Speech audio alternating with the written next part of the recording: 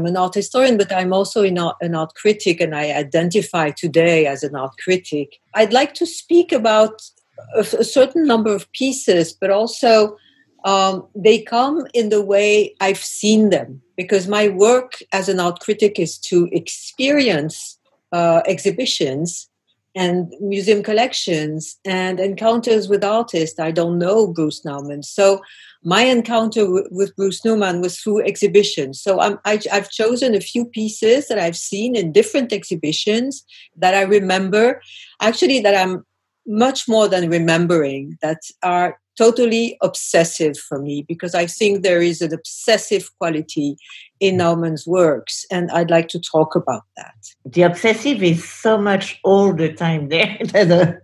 I know, I can imagine. So it's a point of encounter for all of us. My first experience, piece experience, is, is the floating room lit from inside of 1972. I think I saw it in the early 90s um, uh, in Schaffhausen, Switzerland, you know, at yeah. the Hallen für Neue Kunst, where uh, actually the, the, you know there was a permanent installation of Nauman works that opened, I think, in the 80s. So I was with my parents, and um, my parents had driven from Elsass, which was the region was my where my mother had been born. We were there in Schaffhausen, and we were facing this this cube, this vast cube, hanging from above. Um, it was in a dark area, and we could see this kind of stream of light coming from the inside. It was not very reassuring, I have to say. we opened the door we went in and we finally found ourselves totally disoriented. Because in, in the in the white brightly lit room uh, there was no handle there was no ceiling there was absolutely no object to rest uh, our, our gaze our anxious gaze on. You know that the center of gravity of the cube is a bit up up uh, in relation to your body or the center of your body uh, the space is both very constrained and finds no escape in the outside, which is dark and that you can't see. So we had this incredible feeling of being alone, of finding ourselves inside a room that is also an outside for us, and that had absolutely no symbolic connotations and it was maybe semiotic but not symbolic. I think it's very important. So the idea you weren't in chapel you weren't in the palace you weren't in the meditation room. It was not at all that. You were alone. You were left alone with yourself. And uh, in a kind of, of, of, places of emptiness where the emptiness of the outside place sort of reflected or paralleled a kind of emptiness in your own body, in your own mental space. That's what I find so fascinating in actually in Nauman's work, that he addresses what I would call a kind of body without organs. It was a space of doubt. It was a space without spectacle, without exercising your, your gaze. And what I noticed is that my father was like jumping up and down when he went out of this room. He was like crazy. he was he's a, he was a ba- uh, um, infant psychoanalyst. You know, he was specialized in the relation of psychoanalysis to babies, and he was kept keeping, you know, saying this is exactly what a baby feels. This is exactly what a baby feels. I don't know how he found that out, but anyway, he was he was thinking that this space indeed was not a symbolic space that it was this moment maybe where the infant um, experiences something in trying to apprehend the difference between a surface with an inner side and a surface with an outer side and it's still not a given there is a a, a, a space uh, there that I think psychoanalyst Didier Anzieu characterized as le moi peau. You know, I don't know the translation in English, but I think it's the eye skin huh? the ego skin, the mm-hmm. eye skin, the, the, the idea that there is a kind of, before there is a, or with the psychic I, the psychic ego, there is a kind of physical, corporal ego, I.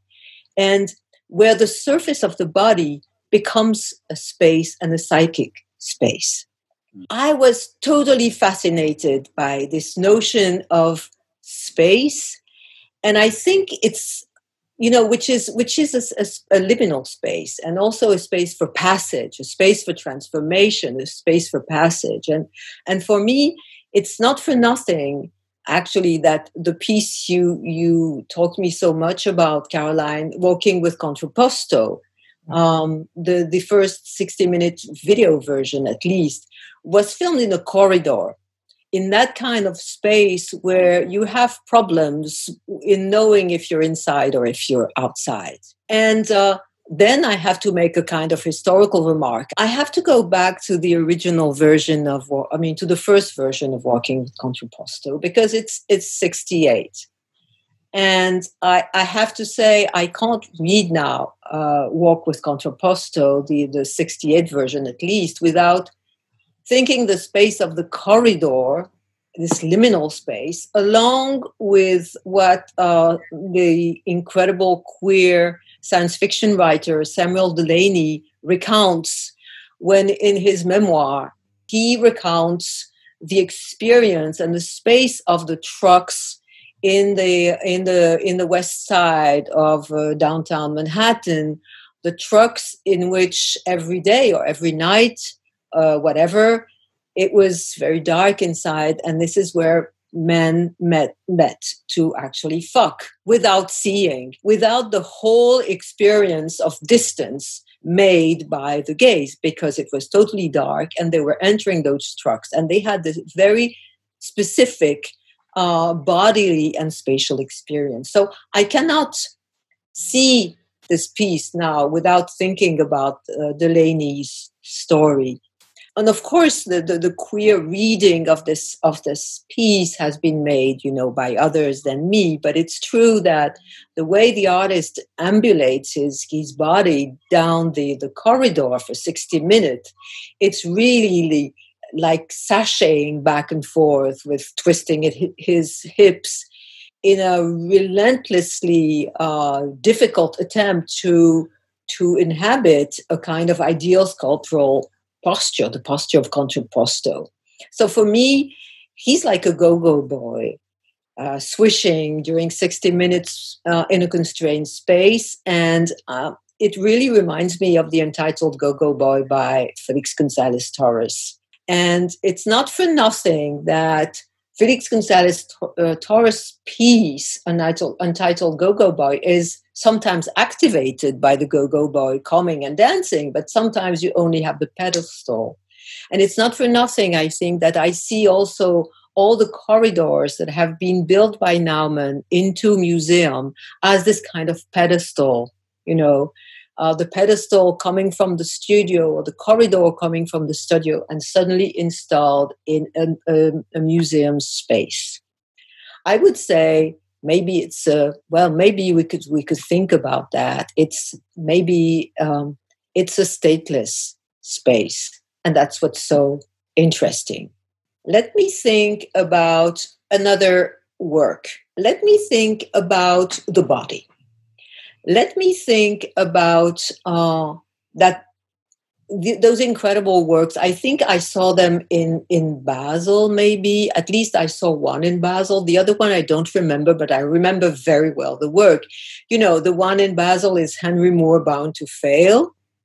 And uh, but let's take the other one, you know, the Untitled of uh, 1967, which is supposedly in the Daros collection for your own uh, it's the piece, you know, of you have the, the folded pair of arms, which are in plaster covered with wax, and they're folded with a knotted rope, a kind of a very physical rope. I read that they're used for ships, and they have this incredible bodily aspect. So there's a kind of double bind, if I may say, immediately. And double bind is the regime at least Caroline and myself are living right now during the confinement where we have life. Yeah. yeah, in real life. So double bind is also a word that really preoccupates me at this moment. You know, it's a double bind because both are bound. So the the upper part um, the, the the the knot of the of the ropes uh, suggests and and and forces you to feel constraint and tension, and the latter part, on the contrary, with the folded arms, well, it suggests maybe the contrary. You know, the the the arms bound or folded like that. It means it means at least two things. It means the constraint, but it also means the refusal. I don't want to work. Um, I'm on strike. I don't want to do anything. I'm doing and I'm not doing. And this is, you know, one of the many double binds I find in Nauman's work because to me, Nauman is also somebody who uses all the time negation, negativity. The no is always there. The refusal is always there in Nauman's work. And I find it incredibly um, important and necessary to me. So I also feel the physicality of the wor- of the words of course, you know, we've all seen, and that's all the exhi- all all Nauman's exhibition, including you know all the art fairs I've been to in the world. There's always a word piece by Bruce Nauman. For me, these words have the incredible capacity of being so physical. Uh, they're physical because they have effect on me, and they're physical because they're also about uh, about figures of speech, about rhythms, about uh, flux, and not about interiority as such. But it's it's like Nauman's spaces for me. The words are physical; they're they're corporal. They have a body because they have an effect, and because they have a rhythm, because they have a flux. I, I associate, you know, run from fear, fun from rear, live or die, all that. Um, I'm very conscious about uh, the work of Judith Butler when I read those words or when I see those words and I hear them. Two things, you know, Judith Butler has made very clear in Bodies That Matter, her second book, that there are no pure bodies, that language is already there.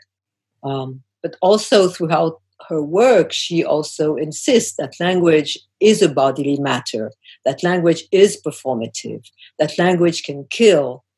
And Nauman knows that. Words are physical, They're, they they, they pass through the body and they are a rhythm, they are a cadency, they are something like the law inscribed, like, you know, um, Kafka's penitentiary uh, colony. Nauman's words always made me made me think of uh, you know the the incredible uh, song by Laurie Anderson, "Oh Superman," because when love is gone, there also there's always justice, and when justice is gone, there's always force, and when force is gone, there's always mom. Hi, mom. So hold me, mom, in your long arms. So hold me, mom, in your long arms, in your automatic arms, your electronic arms, in your arms. So hold me, mom, in your long arms, your petrochemical arms, your military arms, your electronic arms. You remember, oh, Superman. Well, I'm totally and still obsessed, and we've talked about that with Caroline by Clown Tortured that I actually saw in the Reina Sofia exhibition. I didn't see it at the Reina Sofia exhibition, I heard it. For many, many, many, many, many days and nights, I heard the no, no, no, no that was actually shouted throughout the rooms of the Reina Sofia. No, no, no, no. No, no, no! No! No! No, No! No! It's something that actually is totally obsessive, and it's it's um it's like in the Tate installation, which I will talk, you know, later, there is the, the, the sound of these no, no, no, no, no, which is semi hiding the other sound, and particularly the nursery rhyme, you know, which one of the clowns tries to recount. For me, nursery rhymes are always, I'm always thinking of the Night of the Hunter. They're terrible for me. And you, you, you see that one of the clowns on the, on the monitors repeatedly beginning a story about Pete and repeat and sitting on the fans Pete fed off. Who was left for Pete? For me, it's it's the night of the hunter that's there, and then there are there are the the other clowns which are trying to balance objects and in a kind of slapstick comedy, but everything is tainted by the no incessantly screamed uh, by the clown while jumping, kicking, or lying down. So you know you're turning between the abject and the aggressive between the tortured and the torturer and talking about space. Where am i? What kind of participant? What kind of spectator am i? Which side? With whom do i identify? Well both. And of course you remember that many many things that have been written on Bruce Nauman have been referring to Michel Foucault. And of course, you know, uh, Foucault's analysis of the panopticon in Surveiller et Punir, to uh, Surveiller et Punir, um, stressing, of course, that the model of modern subjectivity relies not only on surveillance uh, by the observer in his tower, in his central tower, but on, of course, on the internalization of that surveillance by the observed. May I add something about the fact you spoke about baby at the beginning, and the no is the first identity things when you you get old. It's the most difficult thing to say. Absolutely, and you know the the first distance of the baby with uh, his or her mother is the mother that says no. It's the first separation yeah. of the limits we were talking about. Of course, it that's why it's so necessary. And we never hear it in art shows, you know, better than Nauman. We never we we we don't often uh, hear that no vividly said. At the Reina Sofia, there was also another work that actually talking about surveillance, talking about surveillance and about what can be concealed from surveillance.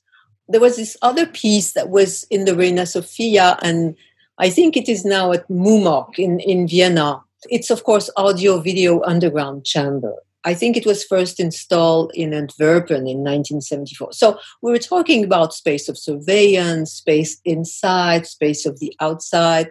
That's something really peculiar because it's a space outside the museum which has been carved and where the chamber, like a corridor, a small corridor, has been buried. In Madrid, it was near El Carmen, if I do remember well. So it was a space outside, a, a, concrete corridor that had been carved and literally buried within the ground. And you could, of course, you could only see, but you could see, and you could only see that space and its containment through a surveillance process. Um, through the monitor in the gallery that was actually transmitting live the sound and image uh, that was recorded through a microphone and a camera. Uh, that is the sound of silence and the image of a void constrained by four walls. So there was, in a way, nothing to see, and you were left with the nothing to see.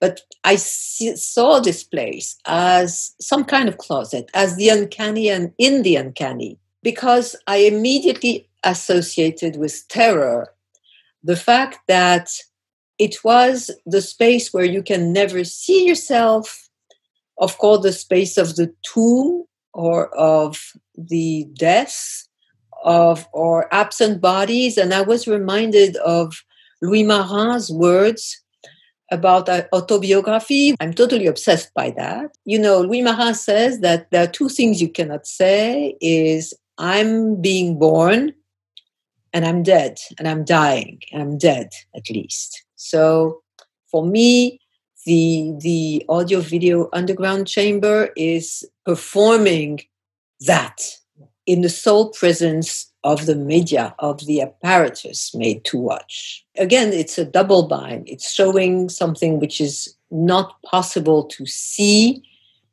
performing something which you cannot perform as a person, as a thing, as an I. But it's also undermining all these presumptions. There was, of course, same thing with the double bind. Um, Get Out of My Mind, Get Out of This Room, 1968, which uh, was the obsessive ritournelle uh, that that I I watched, I saw. Well, can you see something at the at the Centre Pompidou, uh, at the Nauman show at the Centre Pompidou? You know the place. It is a really it's a small room, if I do remember where you hear a voice, but you don't see where it's coming from, which with intona- varying intonations, sometimes really not very sympathetic intonations, as screaming. Get out of my mind! Get out of the room! So you are invited to go in and you're expelled. By the way, isn't that a political statement today? Oh to get rid of all the exception we're living every day, uh, including the double bind uh, mood. Including the double bind. And uh, get out of my, you know, get out of this room is okay, but then get out of my mind. What does it mean, you know, in terms of, again, interiority, what you can conceal, what you can withdraw, what is an artist in facing its audience, its public? What is our relationship? Do we get into the artist's minds? I, I, I don't think so. But, you know, the invitation and the throwing out is something which is, again, um, enacted as a very violent thing, as a very constrained thing, and as a way to make you think about these things you know what is inside what is outside what do we do when we visit an exhibition what do we what do we do to the work how do we deal with this quality of private in public and public in private and of course there's nothing like that it, it's it's a dissolution of even this idea and again, I'm reminded of, of Felix Gonzalez Torres, you know, who said when you you were censored, when two people fucking, you know, the image of two people fucking is censored, sometimes you have to find other ways to deal with private matters. Or sometimes you have to feel other ways. You have to think about other other devices to talk about this very complicated uh, space of privacy, of concealment, of the secret. That's how Nauman works for me. You know, it's like everything is supposed to be open. Uh, and then everything is shut down. You can see inside the tomb, inside the grave, but then you see nothing. And then this, the, there is this element of enigma, of silence, of concealment, of secrecy. In the process of knowing, you have to go through these impulses, through these ideas, I think. So I would like to end with the exhibition at the Tate, which and the exhibition in Venice for me were uh, a kind of really, uh, again, you know, all these questions for me were addressed with the physicality of words. And to me, it was transposed to something I think that musicians and a few musicians, somebody like Pauline Oliveros, has really thought about that. What is listening? What is listening?